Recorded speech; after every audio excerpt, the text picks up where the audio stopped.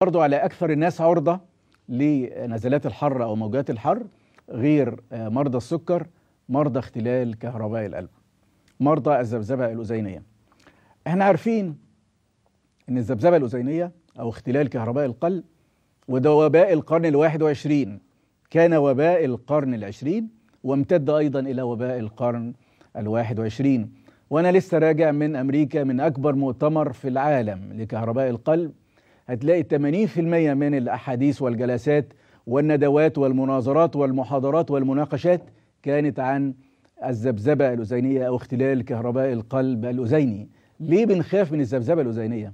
الذبذبة الأذينية لما بيحصل تسارع في الأذين واختلال في نشاط القلب الأذيني بيبقى القلب بيضرب بسرعة رهيبة جدا وبيبقى كأنه هيفط من الصدر يجي لي يقول لي بص يا دكتور لما بتجي لي النوبة اللي هي بتاعت كهرباء القلب بحس إن صدري قلبي هيفط الهدوم بتبقى بتعمل كده. واللي قاعد جنبه يقول لي أنا بحس إن العرق اللي في رقبته بيعمل كده. بيبقى درجة نشاط القلب سريع جدا والنبضات سريعة جدا لدرجة إن القلب ما بيبقاش فيه فرصة إن هو يمتلئ. ونتيجة لذلك بيبقى الأذين كأنه لا يتحرك فبيبقى فيه قابلية لحدوث الجلطات. والصيف يشجع على حدوث الجلطات مع الذبذبة الأذينية.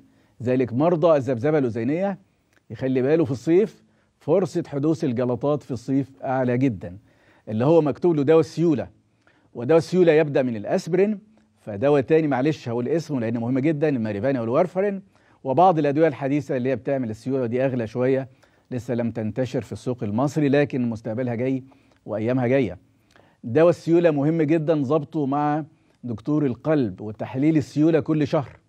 لازم تعمل نسبة السيولة ال INR وتكون أكتر من اتنين. لو كسلت لو تراخيت لو أهملت جرعة لو ما حللتش وطلع أقل من من اتنين أنت عرضة إن يحصل لك لا قدر الله لا قدر الله جلطة في الأذين.